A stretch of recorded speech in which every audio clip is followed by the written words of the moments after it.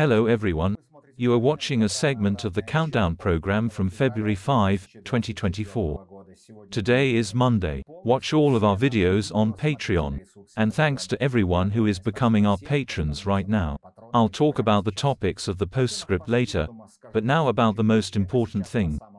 On Sunday evening, an interview with Vladimir Zelensky was released, which he gave to the Italian television company Rai 1. The president of Ukraine confirmed that he is thinking about replacing the commander-in-chief of the armed forces of Ukraine Valery Zaluzhny. Zaluzhny, we need a reset, a change of leadership, not just the military one. This is a question that concerns the people who should lead Ukraine. A reboot, a new beginning is definitely needed. When we talk about this, I mean the rotation of a whole range of government leaders, not just in one sector such as the military. That's why I'm talking about a reset, about a replacement, I mean something serious that concerns more than one person, and the direction of the country's leadership. At the same time, Zelensky did not specify whether he had made specific personnel decisions at the moment.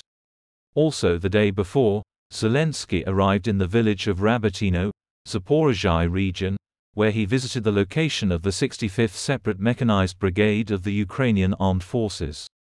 I talked with the defenders, thanked them and presented them with state awards. It's an honor to be here today. Support the warriors and reward them. On their shoulders is a difficult, decisive mission to push back the enemy and protect Ukraine, Zelensky wrote.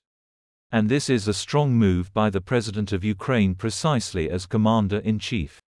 It is impossible to imagine that the cowardly Putin would appear, for example, in the Avdiivka area.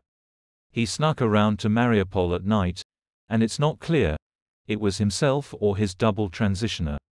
Commenting on the situation at the front, Zelensky described it as a stalemate.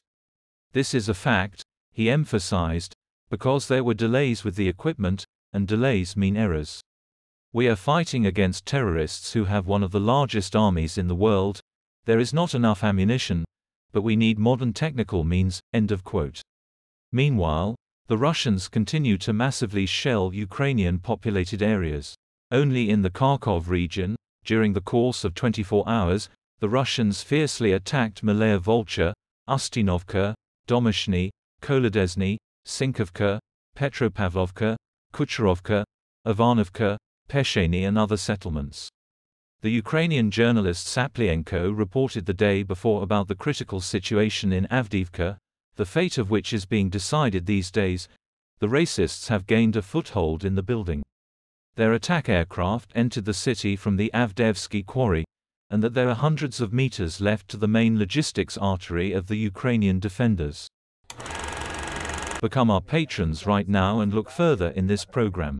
In an interview with Fox, former President Donald Trump again criticized Biden, saying that Biden's foreign policy could lead the world to World War III within the next nine months.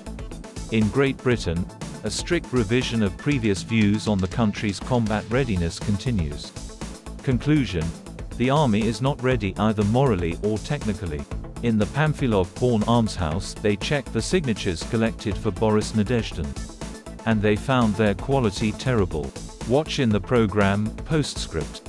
Sources close to the Kremlin claim that immediately after Pankov Day, Roskomnadzor may receive new powers in order to exclude the public's access to negative information about Russia disseminated by the West.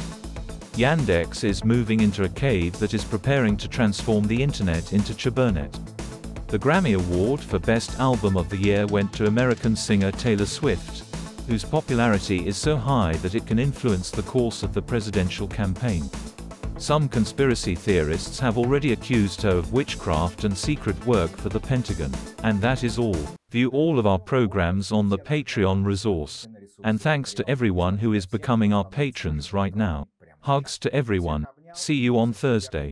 Glory to Ukraine.